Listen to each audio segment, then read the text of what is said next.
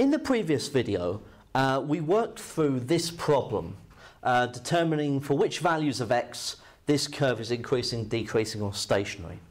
And in order to solve this problem, it all hinged on you being able to know what that curve looks like.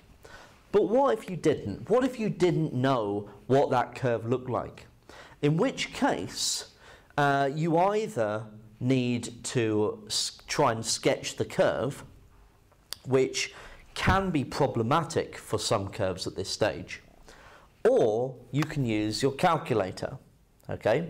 Now, I've got here uh, one of the silver calculators, the FX991ES Plus, but you'll be able to do this on a regular calculator as well, regular Casio.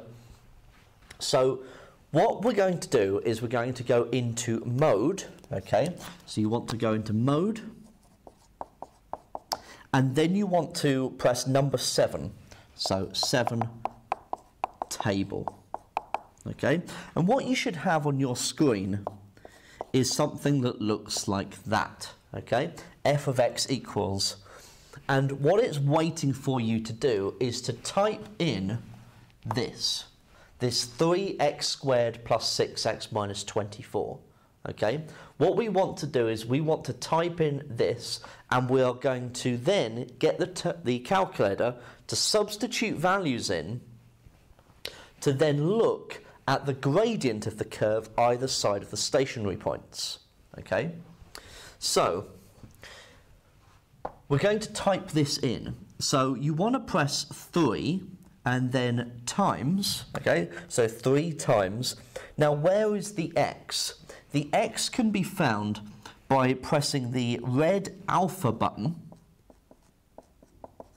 okay, so alpha, and then pressing the right hand bracket button. You'll see a little X in the top right hand corner of that button. Okay, and you should now see an X appear.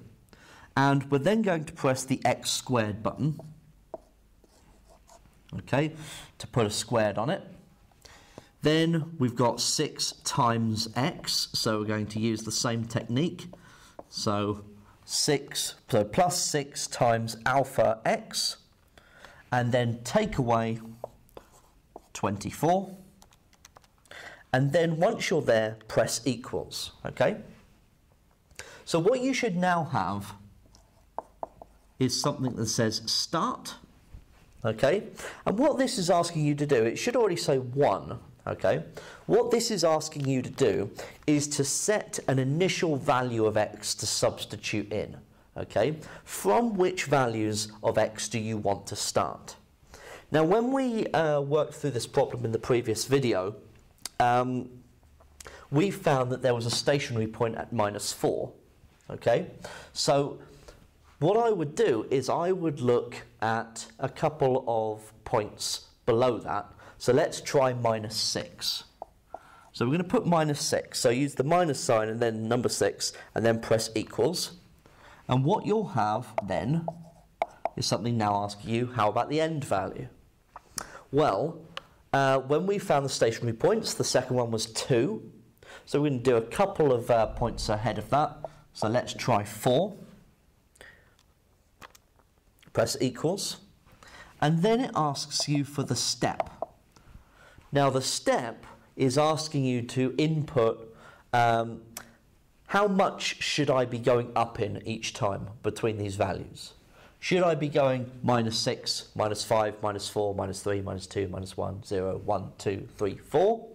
Or should I do, be doing minus 6, minus 5.5, minus 5, minus 4.5, minus 4? So you can tell it to go up in ones, or you can go, tell it to go up in 0.5s or 0.1s, whatever you need.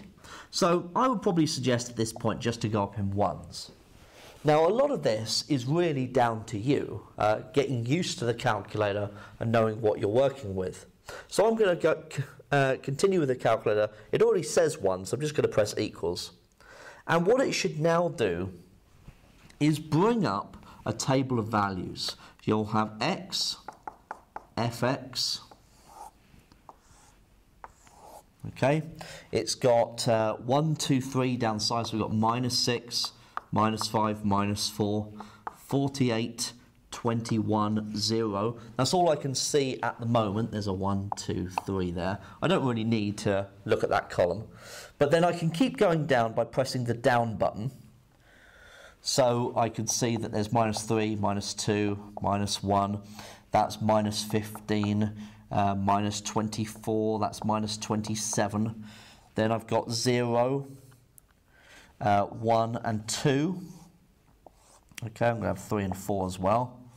Uh, we've got minus 24, we've got minus 15, we've got 0, and then keep going, we've got 21 and 48.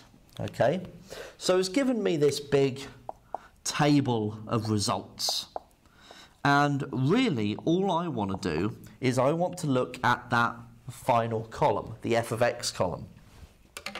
Because any of the points where I'm getting 0, that's telling me where dy by dx is 0. And so that tells me the stationary points. So I know that this curve is stationary when x equals minus 4 and when x is equal to 2. Okay? I could also see where it's increasing because that's where the gradient is positive. If you have positive numbers, so there and there, there and there, that means that the curve is increasing at these points. And so it is increasing when x is less than minus 4. So increasing when x is less than minus 4 and increasing when x is greater than 2. And lastly, this must be where it is decreasing because all of these gradients are negative. And so the curve is decreasing between minus 4 and 2. And so minus 4 is less than x is less than 2.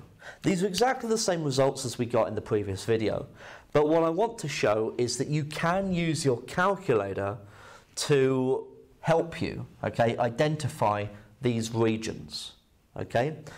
That functionality is there. So it's well worth knowing how to type your function in and then how to use these start and end functions in order to find the stationary points um, and identify where the gradient is positive and negative.